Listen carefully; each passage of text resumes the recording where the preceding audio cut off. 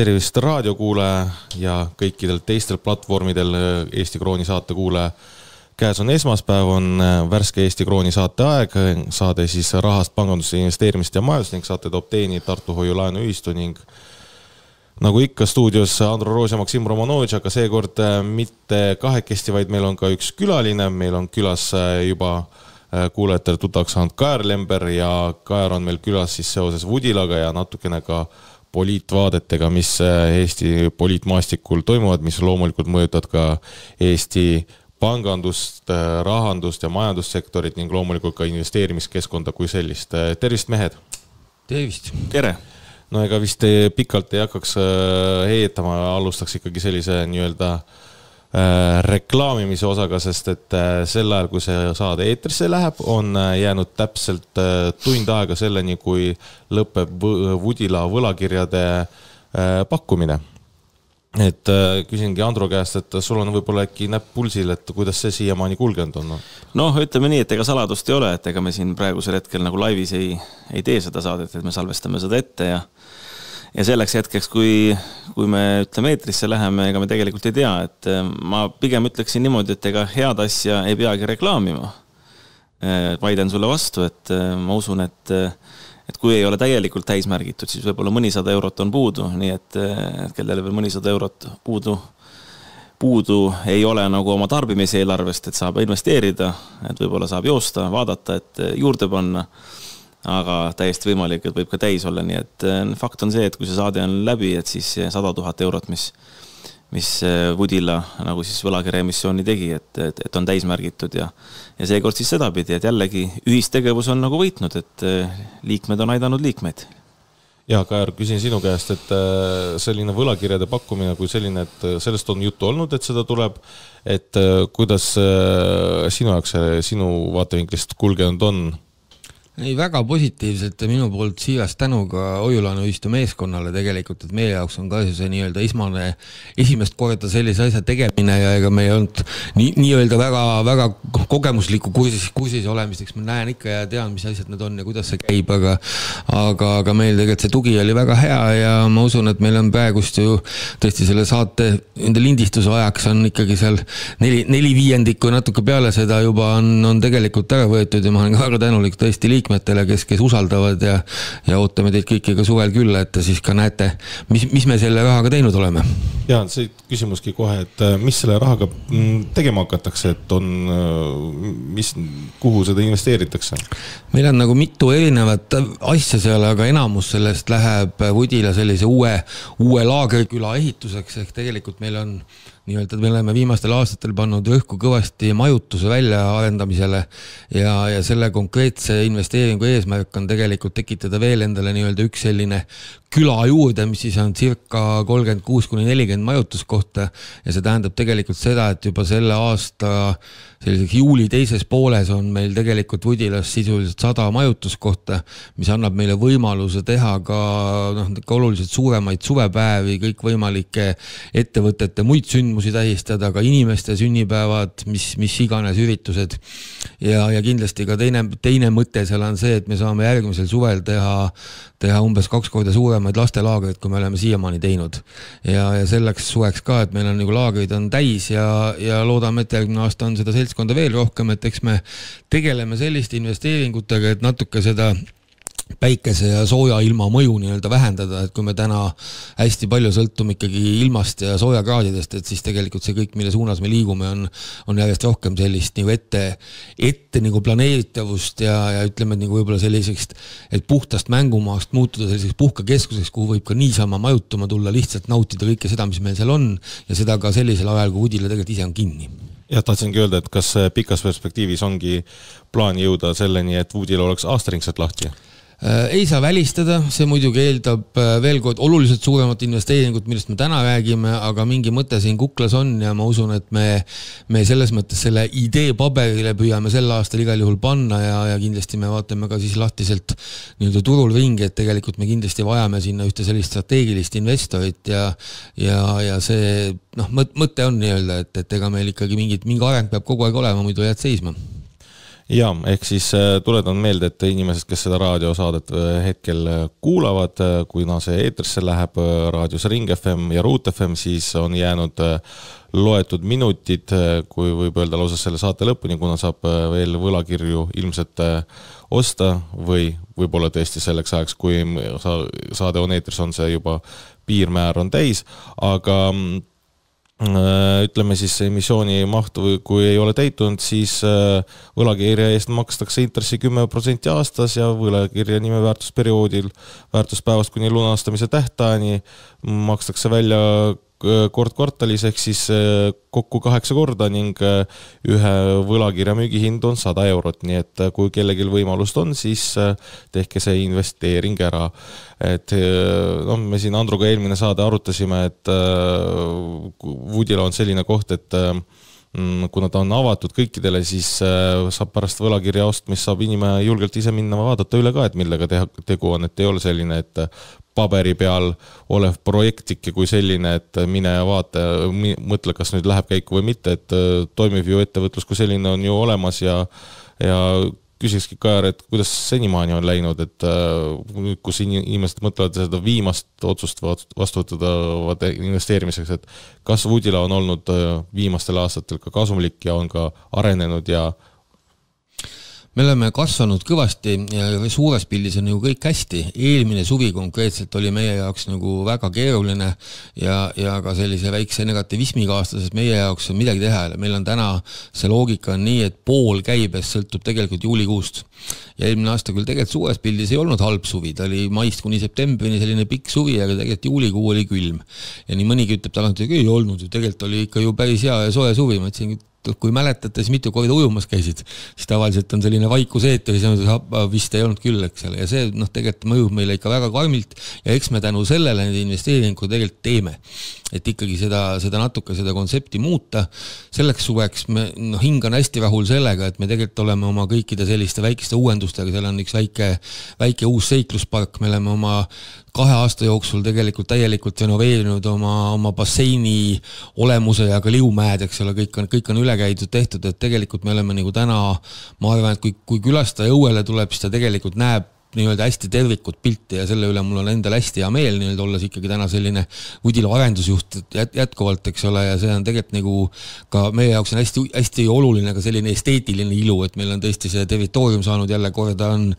on, on kõik see nagu, mis klient, klienti ka nagu peaks niisama rõõmustama. avame loomulikult ka oma toidukohad, aga veel kord, et see rõhk nüüd, nüüdsel ajal on ikkagi selgelt selles suunas, et meile tuldaks mitmeks päevaks, tuldaks majutuma, tuldaks koos peredega, tuldaks noh, nii-öelda ainult täiskasvanud, et et me oleme nagu selleks, selleks nagu valmis ja ma arvan, et, et tulge, tulge ja kaege. Ja kõikidele panustajatele kindlasti, me ei ole seda küll veel ka hoiulaenuühistuga läbi rääkinud, aga ma usun, et me, me teeme kindlasti suvel, kas me saadame neile inimestele pää-, pääsmed või, või kutsed, et me teeme seda ühel päeval, et me kindlasti teeme väikese tänuürituse ka või selle võimaluse vähemalt, et inimesed, kes tahavad, saavad, saavad Vudilat suvel külastada, kes meile nii-öelda on, on oma võla, võlakirja kaudu raha usaldanud, et me kindlasti tahame neid ise ka tänada, nii et kõik see suvi ma väga loodan, et nad kõik jõuavad jõuavad ka kohale no nii, see tähendab seda, et ilmselt mina sel suvel lähen Vudilasse, Andro, kas ma näen sind ka seal, sest minul on võlakirjad ostetud? no siis pean ka ikka kohe, kohe minema, lõpetame saate ära, pean ühe võlakirja ostma, muidu ei lastagi. no ma loodan, et selleks ajaks on täis, nii et äkki oled hiljaks jäänud ja igatahes äh, minul on, äh, kui jääme siin veel viimased minutid Vudila teema peale kinni, on selline külastajapoolne küsimus või siis uudishimu, et need basseinid, et need on ju ütleme siis Woodila puhul see põhiatraktsioon kui selline, mis köidab kõige rohkem tähelepanu, kas nende basseinide ülalpidamine ongi Woodila jaoks see kõige kallim osa või on võib-olla Woodilas peidus midagi sellist, mille ülalpidamine on veel kallim, millest, mida siis külastaja ei taipagi no suures pildis kindlasti on, on veepark jah, selles mõttes, et seal on ikkagi nii-öelda seal veepargi all on üks meeletu filtrite ja, ja pumpade süsteem, mis tegelikult vaadates energiahindadele otsa on tegelikult ikka päris karm. aga me oleme ka investeerinud siin paar-kolm aastat tagasi pisikesse päikeseparki ja me oleme tõesti selles mõttes üks ainulaadne ettevõte, et meil on päikeseenergiat vaja siis, kui päike paistab. enamusel on vastupidine probleem, et, et kui päike paistab, pole teda kuskile panna nii-öelda, aga aga meil on õnneks seda vaja, see natuke tasakaalustab ja kindlasti ongi, et mida me sel aastal nagu teeme, on see, et me oma sellist äh,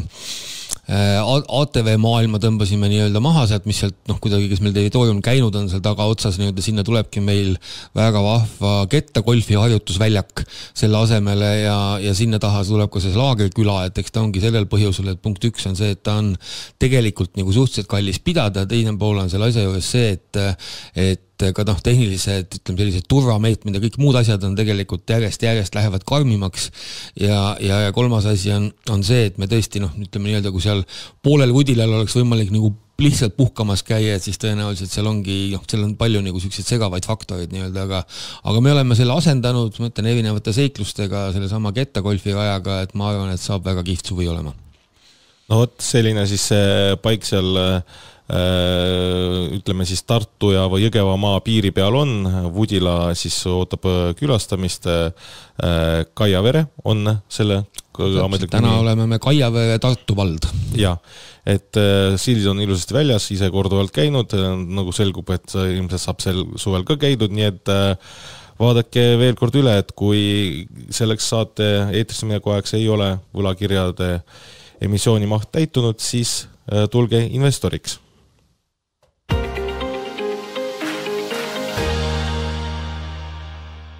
oleme tagasi saatega Eesti Kroon, saade rahast panganduses investeerimist ja majandust ning saate toob teieni Tartu Hoiu-laenuühistu ning eh, stuudios Maksim Romanovitš, Andro Roos ning seekord ka Kaer Lember. Eh, nii, Kaer, aga nüüd natukene ka pöörduksin ikkagi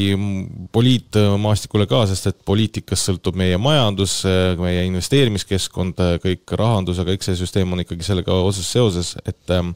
sina kui endine või ka praegu, praegune ka sotsiaaldemokraat ma lah-, lahkusin erakonnast tegelikult kaks tuhat kuusteist ja ma olen alati öelnud, et eks ma neves ei neve, aga, aga, aga praegu hetkel ei ole jah et äh, küsiks sinu käest ka, et noh, me ütleme siin eelmine saade Andro vaatevinklit kui sellist me juba teame, et äh, natuke küsiks, et äh, sinupoolset vaadet hetkel poliitmaastikul toimuvast ja mm, ütleme, alustaks siis sellest kõige põletavamast aspektist, et mis on siin viimaseid nädalaid laineid löönud, see EKRE teema, kus minnakse lahku ja siis me jõuame, ütleme natukene ka teistest erakonnast ka kipalt rääkida no kui öelda ühe, ühe sõna ja viie tähega, siis tahaks öelda, et on põnev. Et tegelikult on ikkagi täitsa uskumatu, kui kiiresti mingid asjad võivad nii-öelda poliitikas eskaleeruda ja ja nii-öelda toimida ja selge on see, et eks täna on neid mõju, mõjureid ju hästi palju, et üks asi on see Europarlamendi valimiste tulemus, teine asi on täna ikkagi see, et meil ju lähi, lähinädalatel vahetub Eestis ikkagi peaminister, eks ole, et see on juba ju tegelikult ikkagi, ma arvan, nii-öelda mingites ringides teada tükk aega, et, et peaminister on siin küll rääkinud nii-öelda aiast aiaaugust, aga tegelikult on ju ammu selge, et ta, et ta läheb. ja küsimus on ainult selles, kuhu ja, ja, ja isegi see on teada, millal. aga, aga see tekitab kindlasti selliseid liikumisi ja minu jaoks on see muidugi, olles nii-öelda taustalt ikkagi olnud ju aastaid ka ikkagi Rahvaliidus ja, ja, ja lõpetades mingil hetkel nagu arusaamisel, et omavahel mindi, mindi inimestena tegelikult nagu natukene nagu ma ei tea, erinevatele positsioonidele või tülli ja siis tehti mingid valikud, et kes kuidas edasi läks, siis tegelikult see, mis täna mõnes mõttes selles EKRE vallas nagu toimub, et see on minu jaoks selline déjà vu, et seal nagu, nagu väga, väga selliseid uudseid märke ei olegi ja nagu ütleb klassikapoliitikas, et ega ükski koalitsioon ei lagune sellepärast, et on tugev opositsioon, vaid ikka sellepärast, et omavahel minnakse tülli. ja sama on ju tegelikult tegelikult ka ikkagi selles mõttes erakonna sees ja, ja ma arvan, et see ongi täpselt juhtunud. ma arvan, et Eestis äh, sellisele tervemõistuslikule konservatismile kindlasti oma, oma koht on olemas, aga küsimus lihtsalt on sellest, et kuidas nagu selles mõttes selliste äärmuste vahel see, see välja mängida, et see kindlasti on päris, päris keeruline. noh, mina tahaks niimoodi öelda, et et muidugi ega protestide pealt minu arvates ei ole õige nagu neid asju ajada, seepärast vaata, kui väga hullusti nagu tülli minna, noh, see kehtib kõikide organisatsioonide puhul. et muidugi, kui on nagu lõppmäng, et noh, et, et kellelgi kõrid nagu läbi tõmmatakse ja keegi nagu täiesti olematusse kukub, et siis küll, aga, aga tulevikus tuleb ju koostööd teha ja ja eriti, kui, kui positsioneeritakse ennast samasse gruppi, aga ma jäin nagu mõtlema just nagu selle üle, et et nimi on nagu konser-, Eesti konservatiivid ja rahvuslased või oli vastupidi, et rahvuslased ja konservatiivid. aga no vaata, noh, konservatiivid juba on nagu olemas, et on isegi mitu erakonda, et on seal Isamaa ja, ja on ju EKRE ise ja, ja nii edasi, et aga kuidagi nagu meenutab nagu, et kui natuke huumoriga ka võtta, et kõigi maade proletaarlased ühinege ja et tööliste ja talupoegade riik ja liit ja ja mis seal nagu vanasti oli. aga nüüd, kui tõsiselt nagu võtta, et minu arust tegelikult, mida meil Eestis vaja oleks, selle liberaalsuse ja konservatiivsusega jantida, minu arvates nii ei maksa, sest meil on päris maised probleemid. on majanduslikud probleemid, on ühiskondlikud probleemid ja need tuleb lahendada ja minu arust oleks meil Eestis vaja, ma ei tea, vaielge vastu, aga meil oleks vaja tööliste, teenistujate ja ettevõtjate liitu. vaata selline, mis nagu suudaks seda ühiskonda nagu konsolideerida, et ei oleks niimoodi, et üks tõmbab ühele poole ja teine tõmbab teisele poole ja siis on mingid äärmused ja ja keegi on nagu seal mingisugune tuumik, kes on nagu äh, rahvast võõrandanud ja nii edasi, et meil on noh, tõesti sõna otseses mõttes oleks tarvis niisugust tööliste, teenistujate ja ettevõtjate liitu, et seda ühiskonda korda teha. ütleme, see bürokraatia ja maksud ja, ja majanduse põhja vedamine, et eh, see on natuke kaugele läinud minu kui ettevõtja vaatest. no aga neid äh, erakondi on ju meil siin mitmeid, kes äh, väidavad, et seisavad siin äh, majandushuvide ja ettevõtjate eest, et no. siin Eesti kakssada ja parempoolsed ja teada-tuntud, vanasti oli Reformierakond oli see, kes äh, alati ennast paigutas ettevõtjate ja nii-öelda majanduserakonnaks, aga noh, selle, selle krediit on nagu läbi saanud, aga kuidas nende kahe teisega on? ei noh, sa võid ju seista, aga vaata, kui sa oled ka väga kaua sellest reaalsest tegevusest nii-öelda põllult eemal olnud siis eh, võib-olla südames sa tõesti seisad, aga praktikas sa ei tea nagu, mis on eh, need maised küsimused, mida tuleks lahendada. ja need on ka päris lihtsad küsimused tegelikult. näiteks, mida ma ettevõtjana avastasin? noh, võib-olla paljudele on see võõras, ütleme, no siin ongi, et töölistele ja teenistujatele on see nagu võõras. sellepärast ma ütlengi, et oleks vaja no tööliste, teenistujate ja ettevõtjate liitu, et me koos koos nagu vaataksime üksteise muresid ja probleeme ja püüaksime mõista ja, ja ka lahendada. aga näiteks mul olid siin tuttavatel ja, ja ühistuliinis ka osadele arendustele tehtud äh, äh, igale kinnistule eraldi ettevõtted, et oleks lihtsam arvepidamine hiljem, kui müügiks ka läheb ja, ja niimoodi. Äh, ja kui nad veel kahe tuhande kahekümne teisel aastal olid klassifitseeritud mikroettevõtjate alla, ehk nende majandusaasta aruande koostamine oli lihtsam ja, ja kõik see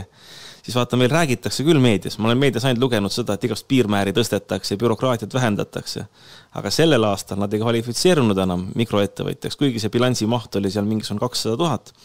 vaid nad olid juba väikeettevõtjad, mis tähendas seda, et mul ja mu tuttavatel tuli kulutada rohkem aega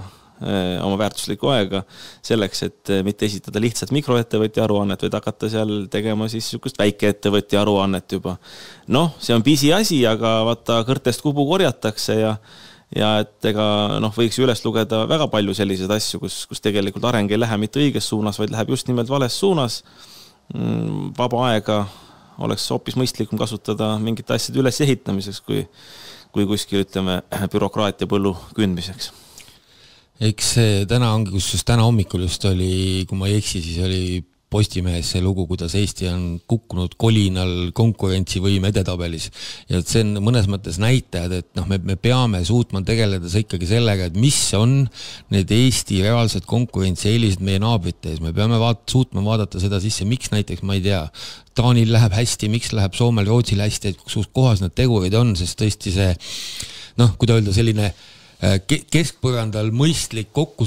kokkusaamine peab ju lõpuks olema, et meil ei ole vaja minna ühte äärmusse, teise äärmusse, samas me peame need oma nišid nagu välja tooma. Ja on ju ka selge see, et kui, kui ühiskond nii-öelda tervikuna on, on vaene või, või, või ka näiteks vaesumas ikkagi või toimetulek on inimeste jaoks täna ikkagi esmane küsimus, ega siis on raske ka nii-öelda sellel rikkal ühiskonnaliikmel nagu hästi elada, eks ole, Eesti sees, et nad peavad, sellest peab nagu inimene aru saama ja ma usun, et me, me seda diskussiooni juba peame, aga, aga, aga me ei ole minu meelest ikkagi suutnud selles mõttes sellist sedasama bürokraatiamasinat panna nagu efektiivsemalt tööle, kuidasmoodi ikkagi on võimalik või kuhu suunas me peame nüüd hakkama liikuma, et me ei ole enam ei e-tiiger, aga ega, ega, ega selles mõttes ka selline investeeringute nagu magnet, eks ole, ja me peame nagu kuidagi selle uue tee endale Eestis leidma. ja, ja noh, ja teistpidi on seesama bürokraatia näide jälle, et et siin Aivar Sõerd on päris mitu korda toonud üles selle nii-öelda tegevuspõhise riigi eelarvestamise totaalse miinuse on see, et tegelikult ei saa sellest ikkagi nagu kõrvaltvaataja üldse aru ja väga tundub, et sellest ei saa ka väga paljud tegijad ja valitsejad aru, sest mööname, see ongi läinud väga segaseks ja siis saabki juhtuda selliseid asju nagu järjekordselt niisugune värske uudis, et majandusministeeriumist leiti ootamatult sada miljonit eurot kuskilt eelarverea pealt, mille taga ei olnudki nagu sisu ega kulusid, eks ole, noh. kuskilt otsast tahaks nagu küsida, et kuidas kurat saab nii olla, eks ole, see on ju tegelikult absurd. No üldiselt ju kogu selle äh, viimase nii-öelda säästupoliitika taustal äh, me oleme ka ju näinud, et äh, leitakse, et on mitmeid sihtasutusi või ütleme, tegevusvaldkondi riigil, millest nemad ise ka ei teadnud, kuhu suuri raha pumbatakse, et see on ju näitaja sellest, et meeletu priiskamine on toimunud et noh, see on natuke see, et eks ma, selge on see, et eks ma oma vana, vana rasva pealt või, või, või heade inimsuhete pealt ma ütleks nagu, et eks ma suhtlen ju ikka, ikka poliitikutega, kindlasti. Mul on häid, häid sõpru e-, erinevates erakondades, aga kindlasti kõige rohkem sotsiaaldemokraatis, kus ma olen ise ju olnud, eks ole, ja põhiline selline diskussiooni koht ka minul ongi nagu seal, et kas ikkagi riigis on võimalik veel nii-öelda kokkuhoidu saavutada või enam ei ole, et tõesti kõik on maha kärbitud, on ju, ma ütlen ka, et loomulikult, kui sa lähed ühe inimese üksikisiku tasemele, siis alati ei saa, inimene teeb ju tavaliselt ikkagi nagu reeglina head tööd, ta tahab tööd teha, aga küsimus on nagu jälle palju suurem, et äh, kas me ikkagi tegeleme alati selliste asjadega, millega peab tegelema. ja ma väidan seda küll täiesti veendunult, et meil on väga palju pseudotegevusi, mille me tegelikult võiksime sirgelt jätta tegemata ja ma arvan, et sellega oleks võimalik bürokraatiat vähendada, kokku hoida asju ja vahest noh, kas või see on minu enda noh, niisugune loll näide jälle, aga isiklikud näited alati nagu õpetavad elus minu meelest hästi palju. ma ei hakka sellest pikast kohtu, kohtusaagast nagu rääkima, mis on, mis on omaette absurd, absurdsus, kuidas niisugune asi võimalik on. aga ka täna näiteks, kui me räägime, et meil on äh, kasvõi näiteks asutus nimega PRIA, mis on selles mõttes peaks olema maaelu nagu sihuke arenguvedur, kõike tegema selleks, et ettevõtjad saaks investeerida läbi toetuste, kõike muud, ma noh, üldse ei räägi makseagentuuri rollist, see on tal nagunii. aga just see teine pool, mis on need investeeringutoetused. Ja kui täna seal majas on näiteks ressurssi tegeleda a la mingi kaks tuhat üksteist aastal toetustaotluste nagu õigsuse kontrolliga, kus ei ole mingit pistmist enam Euroopa Liidu järelkontrollidega, need on ammu nii-öelda ajad üle, siis ma ütlen, et seal majas on ressurssi liiga palju ja kuskilt tuleb efektiivsemaks saada seda asja, väga lihtne no üldiselt äh, ressurss ja kõik see sõltub ju inimestest ja tegelikult vaadates ju mis siin äh, poliitmaastiku taustal toimub, et inimesed jooksevad erakondadest äh, minema ja lahkuvad ka kantslerid ja nii edasi, et kuidas te mehed hindate, et iga erakonna puhul seda nii-öelda varumeeste pinki, et on seal üldse võtta neid inimesi, kes meie majandust ja kes meie investeerimiskeskkonda parandaks, et hetkeseisuga mul nagu eriti siin palju nimesi pähe ei tule, kes oleksid äh, võimelised ja kes oleksid äh, piisavalt pädevad, et äh, teha neid õigeid otsuseid? noh, ma ise arvan niimoodi, et vaata, see poliitiku roll on nagu Eestis minu arust üle tähtsustatud, selles mõttes, kui sa nagu erakonnas ei ole või ei ole seal, seal tipus niimoodi või, või ütleme, valitava ametikoha peal kuskil volikogus või, või Riigikogus ja paljud ei tahagi sinna minna nagu sellepärast, et tegelevad nii-öelda selle maise majanduse probleemidega, reaalse ettevõtlusega, eks ole, et ega ennast kursis hoida seal äh, kõrvaltegevusena oleks ka paljude jaoks üle jõu käiv ja nad ei tee seda. ja vaata, ega siis äh, need, kes tegutsevad iga päev reaalse ettevõtlusega, ega nende käest tulekski küsida. aga nende käest sageli ei küsita, et äh, vaata, kui ametkonnad teevad kas või ministeeriumites igal pool valmistuvad, valmistavad poliitikutele ette uusi seadusi, siis eh, nemad alati nagu noh, lähtuvad nagu sellest, et eh, mis on nagu riigi kui juriidilise isiku või kohaliku omavalitsuse kui juriidilise isiku huvi. noh, ma siin eelmine saade nagu rääkisin sellest, et eh, kuidas see arengu planeerimiskomisjonis Tartus võeti vastu siis ütleme täiendav koormis ettevõtjatele, kus siis tagatisi tuleb hakata andma, kus muu, muuhulgas nagu esimese järjekoha hüpoteeki näiteks äh, võib hakata Tartu linn nõudma, et kui sa seal teid ja trasse Tartu linnale tasuta valmis ehitad, noh, paned esimese järjekoha hüpoteegi peale oma kinnistule, mida sa arendama tahad hakata, näiteks kortermaja, noh siis pank küsib, et aga tahad laenu sealt saada, et aga mis mulle tagatiseks tuleb, noh, pangale polegi nagu, et enne ehitad linnale trassid valmis ja ja siis vaatad kuskilt, kui enne pankrotti pole läinud, et, et võib-olla viie aasta pärast, eks ole. Noh, niimoodi need asjad päris ei käi, aga vaata, mis seal selle seletus oli ja mida ka mõistlikud inimesed, kes seal minu kõrval isegi istusid ja kellest, kellelt ma nagu lootsin nagu isegi tuge nagu natukene ja et oleks võinud toetada ja isegi opositsiooni poole pealt, et ma saan aru, et koalitsioon ei taha iseenda vastu minna, aga aga kuigi, kui, kuigi võiks ju ka minna, et ega siis mingisugune poliitiline erakond seda ette ei valmistanud, et lihtsalt linna juriidiline teenistus. aga vaata noh, mida kogu aeg rõhutataksegi seal arenguplaneeringu komisjonil ja viimane kord ka, et, et me tegutseme Tartu linna huvides. ja ma olen mõelnud, et mis need Tartu linna huvid siis nagu on. ja ma olen ka nagu aru saanud, et nad mõtlevad selle all seda, et Tartu linn kui juriidiline isik ma saan aru jah, et Tartu linna juriidilise isiku jaoks on nagu väga oluline noh, nad ütlesid, et üks vaidlus kunagi on olnud nagu, et sellepärast hakkavad kaitsma ennast selle, selle hüpoteegiga, eks ole.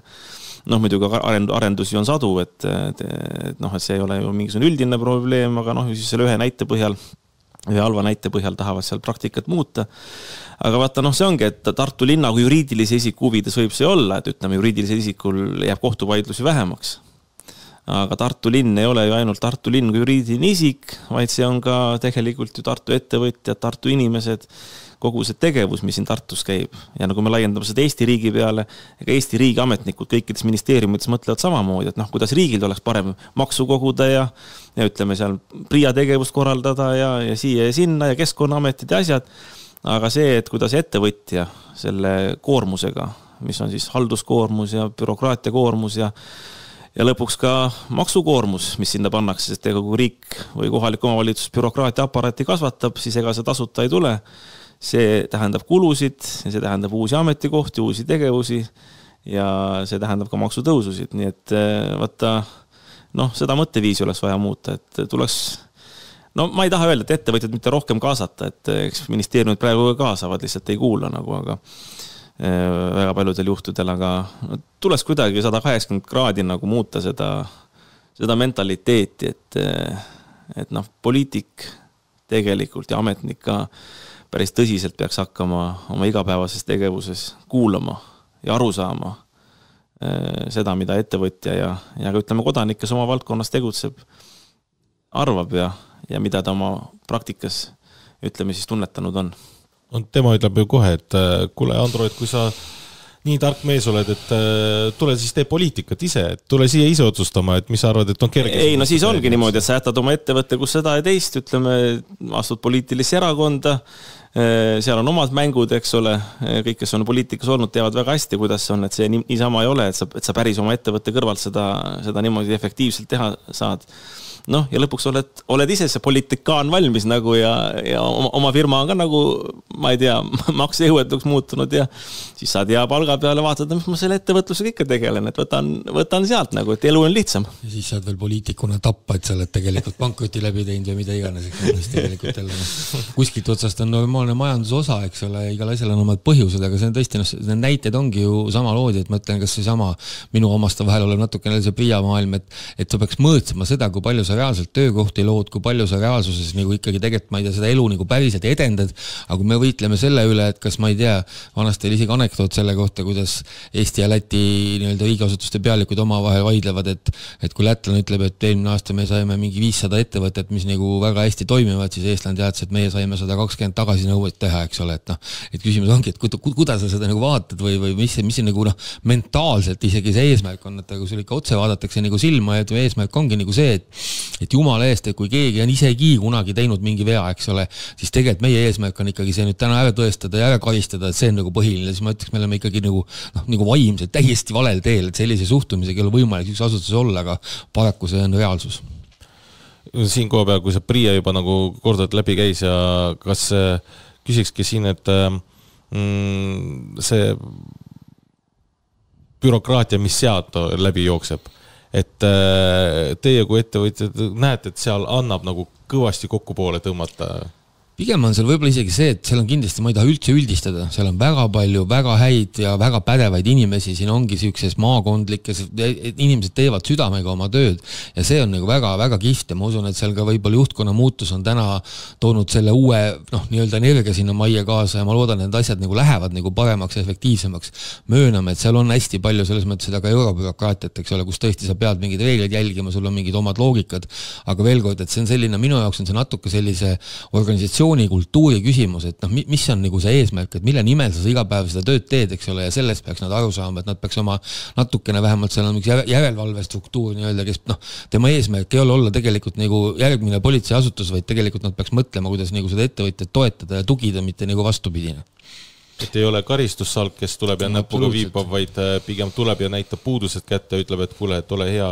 kõrvalda need ära, et järgmine kord tuleme, et oleks kõik see, kui see, et esimese asjana kohe kirjutame lipiku välja, et äh, palun, rikkusid reegleid ja no, maksa tagasi. see on jälle seesama asi, et ma, ma olen nagu toonud seda näidet, kuna veel kord noh, jälle oma elust on ta läbi jooksnud, aga Eestis on selliseid ägedalt suureks puhutud kohtu case'e, eks ole, aga kui ühele tüübile, kes tegelikult on täna, ma ütleks, et Eesti Vabariigi prokurör number kaks, eks ole, prokuratuurisüsteemis, anti kunagi aasta prokuröri tiitel ja seal oli sees, mis pärast võeti sealt sellest skriptist välja, muuseas selle eest, et ta esitas kohtunikule kahtlustuse. Siis ma tahaks nagu küsida, et kus kurat me oma riigiga nagu jõudnud oleme, rääkima sellest, süüdistust pole esitatud, kohus, kohus mõistab Eestis nii-öelda süüd, eks ole, siis me jagame nagu ütleme, selles mõttes prokuröri tasemel tiitlit selle eest, et ta julgeks kahtlustuse esitada. noh, minu meelest on see nagu noh, nagu, nagu noh, see on nagu nii totaalne nagu ebakõla või, või, või sihuke absurd, et lihtsalt noh, kui me niimoodi mõtlemegi, noh siis, siis me olemegi seal, kus me oleme noh no jaa, ei, ma olen siin vist korduvalt ka rääkinud nagu e-, erinevates kanalites, aga no mina ei taotle enam kunagi üheski, ühegi oma ettevõtte alt. muidugi ära ütle kunagi, kunagi, aga mul praegu on küll niisugune mõte, et ma ei taotle kunagi PRIA-st midagi, et nii palju mul PRIA-ga tegemist on, et igal aastal ma uuendan oma tomatite eh, mahetunnustust nagu kuuskümmend neli eurot maksan või kuuskümmend viis eurot eh, riigilõivu et kunagi sai äriplaani kirjutatud, et, et on mahetomat, ma ei ole Google arvete peale ega midagi niimoodi pannud, et reaalselt kasvatan ka, aga, aga vaata, näed, bürokraatia on juba see, et et ma pean nagu iga aasta tõestama, et, et maksan kuuskümmend viis ära, et on koššer nagu, eks ole, noh, selles mõttes. et on, ongi koššer, ongi, ongi mahe, aga jah, ma olen ju rääkinud seda päikesepargi saagat, et kunagi, kui ma esimese päikesepargi ehitasin Priia toega internaatkooli seal Tõrva vallas. et siis Priia tuli kohale ja vaata, nagu täpselt nagu Kajar räägib, et, et võiks ju tunnustada ja võiks abiks olla ja ja see kontroll tuli koha peale, seal oli, see oli tõesti meeldiv kogemus, et eks see sõltubki nagu sellest ilmselt, vaata nagu politseinikel on need trahvipäevad, et täna kontrollite turvavööd, eks ole järgmine päev öeldakse, täna lähete, seisate, teete kiiruse ületamistrahve ja nii edasi. et ju Priias on ka, ma kujutan ette, taoline süsteem, et kuidas ülevalt poolt käsud antakse, kuidas suhtuma peab et vaat, kui see internaatkooli päikesepark valmis sai, siis tõesti tuli inimene kohale, luges paneelid üle, me olime rohkem pannud isegi sinna, ta kiitis selle eest, ütles niimoodi, et see on väga tubli ja kõik nii. ja aastapäevad hiljem mul sai kaks päikeseparki valmis, ütleme siin Luunjas ja, ja Viljandimaal ja ka enne jõule läksin kohale ja mõtlesin ka, et näed, Priia tuleb kohale, ma tean seda, et mul on rohkem päiksepaneele pandud, kõik tööd on lõpetatud, tuled ja enne jõule nädal saan kiita veel riigiametniku käest, et vaata kui hea tundega lõpetan uude, aastasse, eks ole, ja saab aasta kokkuvõtteid teha. aga noh, siis kaugelt juba nägin, et, et eh, kahe autoga ja kolm inimest ja et noh, et ega kolmekesi nagu niisama õnne, õnne soovima nagu ei tulda, et et vaadati hoopis muid asju ja, ja mis asjasse ei puutunud ja ja olid ka nagu suured menetlused nagu lõpuks seal ja kuni selleni välja, et minu arust nad viieks aastaks, mis õigust neil ei ole, tuginedes mingisugustele Euroopa määrustele, kus on öeldud, et kolmkümmend päeva või midagi taolist oli, see on mul natuke meelest läinud, need üksikasjad, aga noh, seal oli ikka päevade küsimus. aga nemad viieks aastaks peatasid menetluse, noh, nad tahtsid saada nagu selle, et et noh, et vahepeal ma lähen pankrotti ära, et toetust välja ei maksta, seal olid ikka suured summad nagu. ja toona tõesti ainult aitas see ja hiljem ju see minister võeti ka maha, kui oli Mart Järvik. ma kirjutasin talle ametliku kirja. Äh, ma arvan, et minusugused oli väga palju, kes kirjutasid, sest ta tegeles selle asjaga. ja ma kirjutasin Messengeri ka, et kuule, et vaata, mis, mis sul seal toimub, et niimoodi, niimoodi tehakse, et ma, et mul ei ole mõtet kohtusse ka minna, et kohtuasi läheb ka kahes kohtuastmes või Riigikohtusse välja läheb viis aastat nagu, et sama, sama palju, kui kui nemad oma menetluse peatasid, peatasid, et, et oligi saba lahti, nokk kinni, et mida teha, et ei olegi midagi teha, et pankrotti oodata aga õnneks näed, toonane minister võttis kätte, tegi selle asja ära. muidugi tema enda pea ka lendas sellest, eks ole, ja, ja tehti talle seal menetlust ja asja. aga noh, see näitab seda tegelikult, et saab küll inimlikult teha. ja ilma isegi selleta, et minister sekkuks, et, et eks see on suhtumise küsimus väga paljuski ja mina nagu oma praktikas näen, et noh, mitte ainult PRIA-s, vaid, vaid igal pool, et riigiametnikud tegelikult seda nad ei tohiks teha, sest see ei ole isiklik äri nendel, ma saan aru, et noh, kui ütleme, meie siin Kajariga näiteks omavahel kiusu ajame, et me ei tohiks ka teha, aga vaata, me oleme nagu inimesed ja, ja me ei teegi, aga ütleme, ma siin räägin teoorias, et noh, et, et kui meie Kajariga siin era, kaks eraettevõtjat omavahel kiusu ajaksime, et see on üks asi, aga kui riik või riigi esindajad, ütleme, ametkondade kaudu ajavad kiusu ja fakt on see, ma oma praktikas nagu ütlen seda, et vahel nad ajavad kiusu ja, ja see on nagu lubamatu sest riigil ei tohiks olla emotsioone, kui ta suhtleb kodaniku ja, ja ettevõtjaga, et seal peaks olema ainult seadus ja seadust, ma ei tea, kui ma viimati haldusmenetluse seadust lugesin, siis haldusmenetlus tuleb läbi viia efektiivselt ja tegelikult ka menetletava,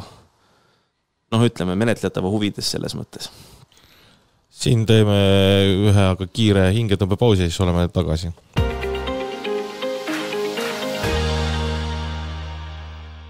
oleme tagasi saatega Eesti Kroon, saade rahast, panganduse, investeerimist ja majandust ning saate toob teinud Tartu Hoiu-laenuühistu ning täna stuudios Andro Roos, Maksim Romanovitš ja Kaar Lember. Kaar, sul vist jäi viimasest meie segmendist midagi hinge peale veel? lihtsalt seal toodi neid riigi ja ütleme, ettevõtete vaidlusi ja kindlasti on seal võiks olla üks selline positsioon, kus üksikisik on riigiga kohtus, siis tegelikult võiks see lõppeda, kui esimene aste näiteks on teinud inimese kasuks otsuse, siis võiks nagu nii-öelda menetlemine läbi olla. et riik ei pea minema siis enam ringkonda ega, ega, ega riigi tasemele. ja teine asi, mis on minu jaoks on täiesti sellised noh, ütleme veits nagu jaburad kohtu case'id, mis on ka tegelikult seotud paljuski toetuste ja nende toetuste tagasinõuetega, on see, kui kohtus käivad nii-öelda riik ja omavalitsus, eks ole, nad on küll jah, me ütleme, et omavalitsused on justkui suveräänsed, aga tegelikult on see ikkagi üks maksumaksja rahapott, on ju,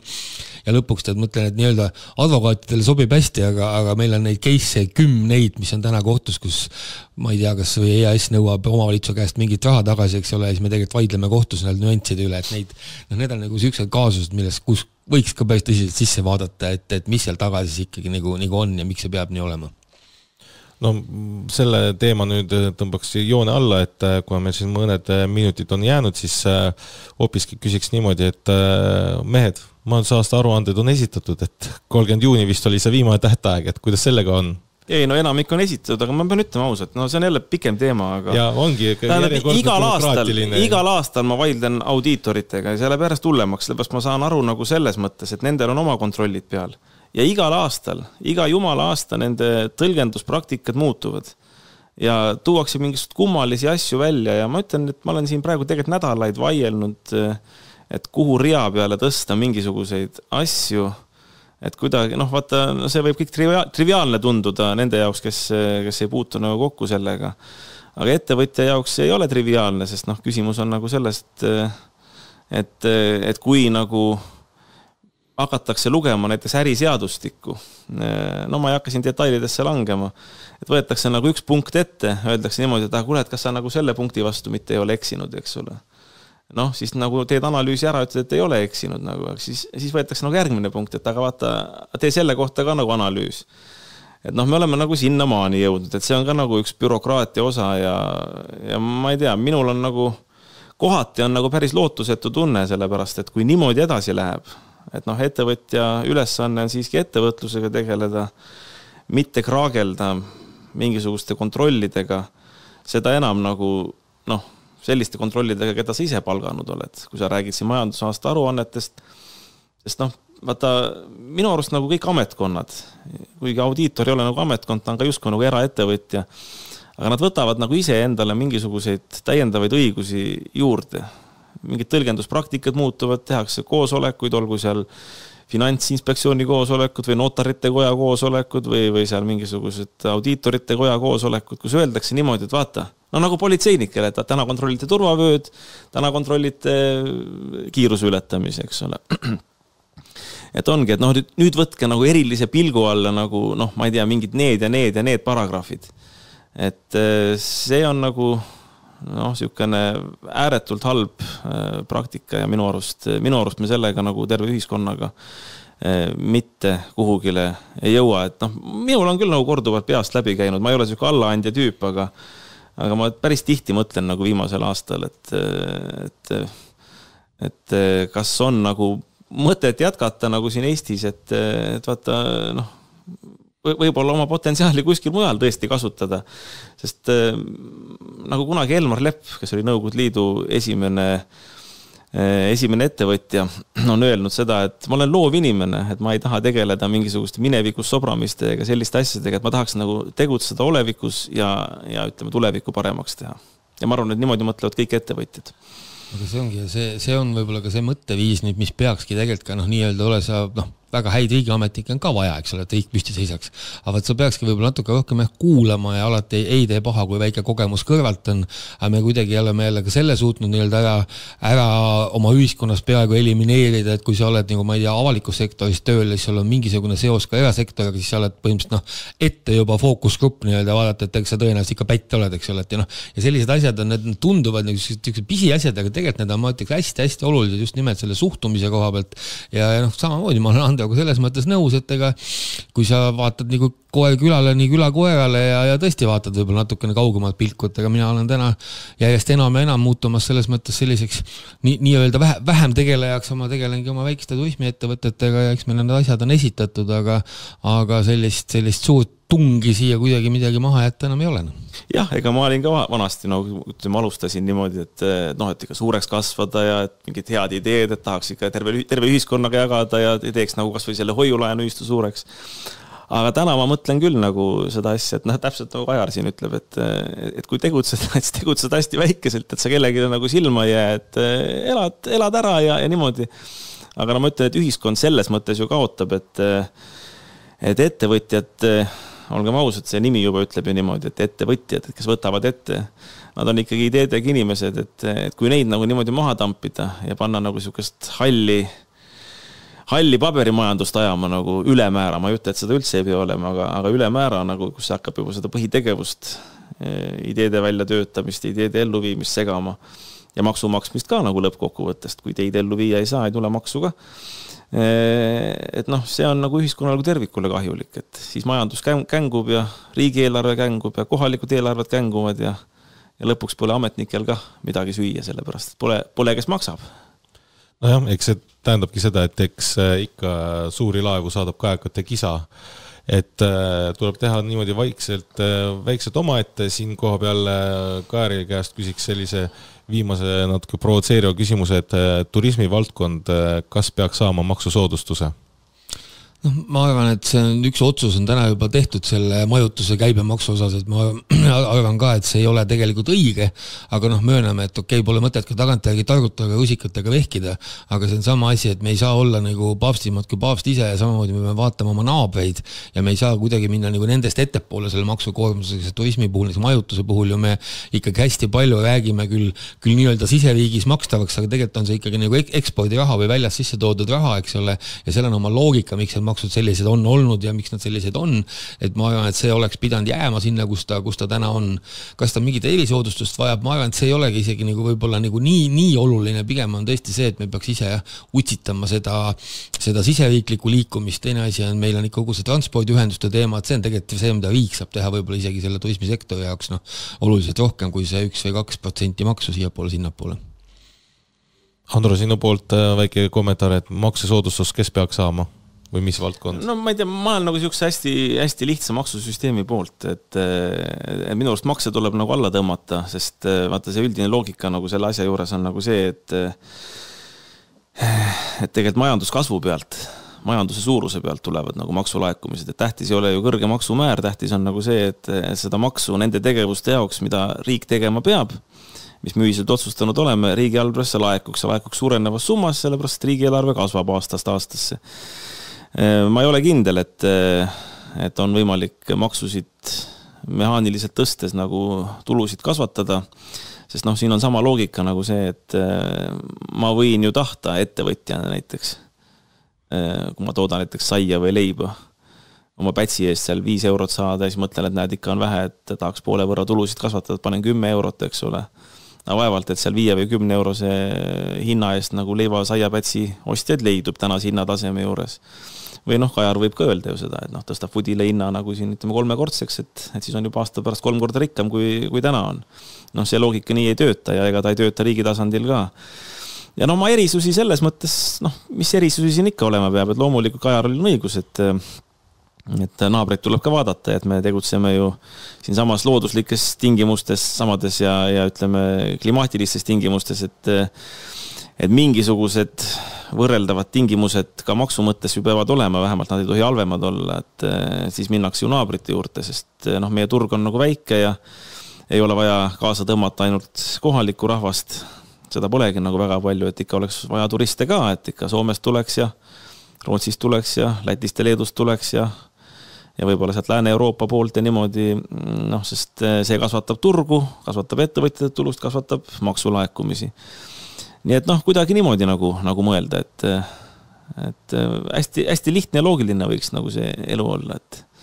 siis, siis, siis ta läheb paremini nagu ja eks see algabki ju samamoodi pihta, siin mul lihtsalt tuli üks näitena meelde üks väike tööstusettevõte, kes kolis hiljuti Lätti, ütles väga lihtsalt, et kui ma Eestis oma sedasama tööstust vajasin sisuliselt sellest nii-öelda ehitusloast kuni lõpuks kasutusloani, nii et kõik toimis, oli niisugune neli-viis aastat protsessi, siis Lätis oli see poolteist aastat, eks ole, noh, see, see on, see on nagu meeletu vahe tegelikult, see on meeletu vahe mingite asjade käimasaamiseks. Ja noh, ma, ma tõesti ei tea detaile, miks see selles mõttes seal ka nii jooksis, aga noh, see on, see on fakt, et see, see trend on ka täna Eestis olemas ja see näitab seda, et me oleme ikkagi mõnel tasemel taaskord üle pingutanud mingite asjadega. ja vaata, Kajar, kui sa seda nagu ütlesid, eh, ma leidsin kodu koristades